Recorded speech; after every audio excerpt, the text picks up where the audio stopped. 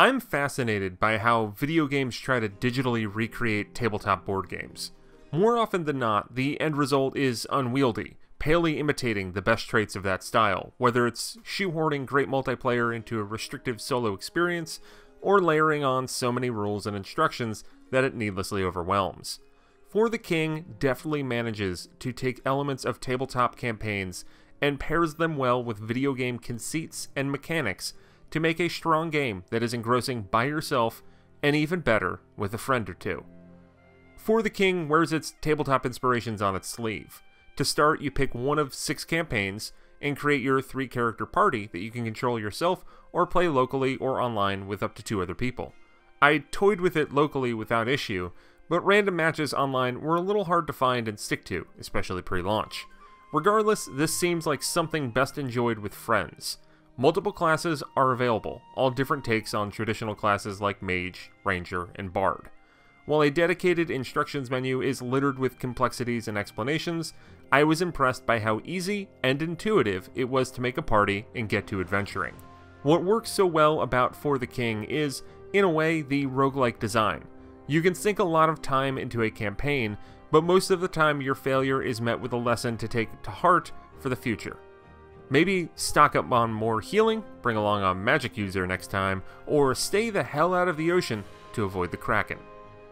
Out of the six campaigns, four of them are traditional adventures ranging from a few hours to completion to more than 10. Each takes place in a different locale with a distinctive story, all with procedurally generated levels and challenges. Each overworld map is hexagonal based, and your characters alternate between movement turns to explore the world. A wealth of tiles are what they are. They could be a town, a helpful boost, or a dungeon. Random events that are helpful or harmful sprout randomly, making the going easier or tougher, but rarely stale. Enemies are visible on the map as well, and when you run into them, you generally have to get ready for combat. Combat is a turn-based affair, with your character's attacks being based on their equipped weapons and subject to a virtual random number generator. The RNG can sometimes be maddening, but this is true to tabletop design, as essentially these attacks just simulate a dice roll. Item and equipment collection is important because while your characters do slowly level up, good weapons and gear can make a huge difference. Dungeons offer another style, as your party travels from room to room, primarily contending with an onslaught of battles, but also stumbling upon a random shop, obstacle, or treasure chest. The grind of dungeons grows weary with extended play, as evidenced in the endless dungeon mode, but as a complement to the overworld exploration, it's a great change of pace, focusing a lot more on endurance and survival, as you lose a lot of the escape hatches of the open air environments. The sixth campaign is Gold Rush, which is this weird sort of anti co op mode. While Gold Rush appears to require players to have prior experience with For the King to be truly great, it's an extremely novel mode that is highly competitive, as you try to bend the basic tenets to screw over your friends and get the most money as quickly as possible. One demonic tactic is entering an area where you automatically make everyone in the party come to your spot, thus waylaying whatever plans your rivals might have had for their turn. With the right trio, Gold Rush is spectacular and laced with strategy.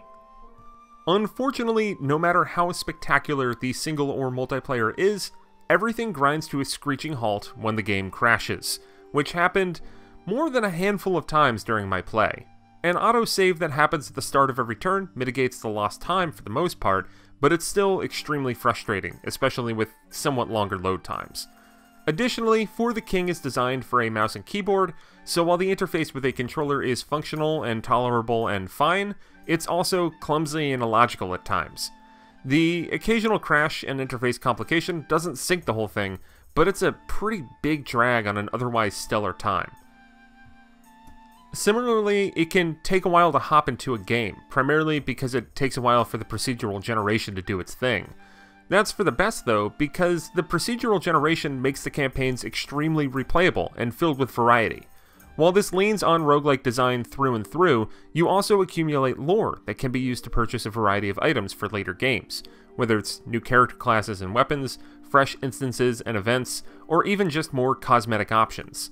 In a way, the unlocks are an expansion to the base game that you gain access to the more you play. This is another smart way that For the King translates tabletop ideas to the video game space. And that's what For the King does extremely well. It effortlessly blends tabletop and video games into an enjoyable experience that claws at what both can excel at. Creating characters, exploring overworlds, battling through dungeons, and doing it all with a friend or two is a real fun time.